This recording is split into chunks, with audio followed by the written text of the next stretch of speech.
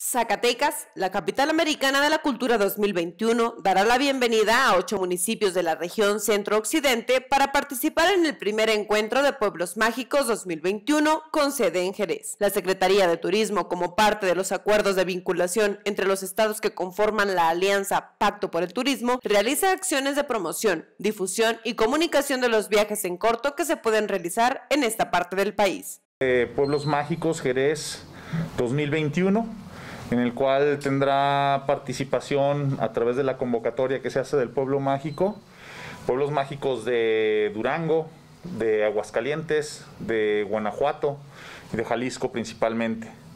Es importante contextualizar que desde el 2019, cuando lanzamos la campaña de los más mágicos de los pueblos mágicos, firmamos una serie de convenios de colaboración con estados, principalmente con los pueblos mágicos de aquellos estados. Estamos hablando de Aguascalientes precisamente, de Guanajuato, de Hidalgo también firmamos este, este acuerdo.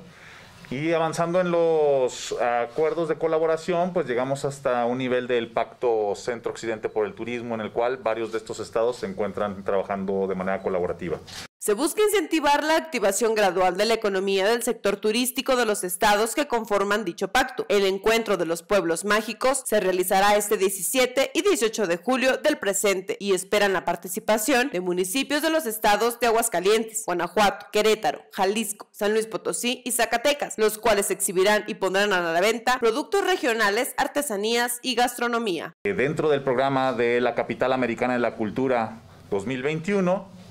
que Jerez se encuentra dentro de los municipios, de los 11 municipios que conformaron el expediente, pues existen programas como esto para que aún con la pandemia y con todas las medidas sanitarias autorizadas incluso por la Secretaría de Salud del Estado de Zacatecas, se lleve a cabo este evento.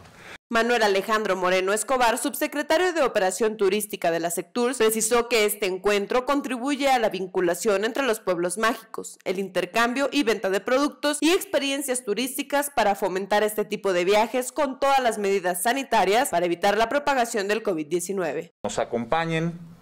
las personas que nos están viendo fuera de las fronteras del estado de Zacatecas, incluso pueden entrar a la página viajacentromexico.com, van a encontrar una sección de escapadas y vienen opciones para que desde sus estados, las rutas que pueden seguir y sitios turísticos a visitar que pueden encontrar en, en estos espacios.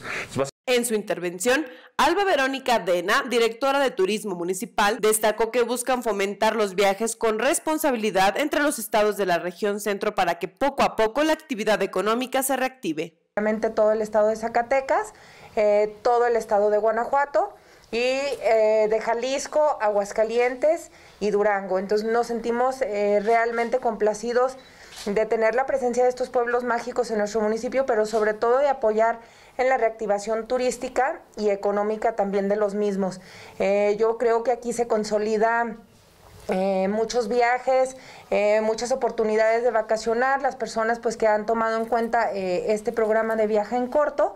al acercarse a las mesas eh, o stands eh, de exposición de cada uno de los pueblos mágicos, puede tomar una determinación para su próxima vacación. Entonces,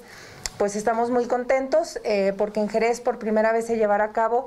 este tipo de festivales donde estaremos 15 pueblos mágicos juntos. Con imágenes de Arturo Cardeña informó para Teresac, Angélica del Río.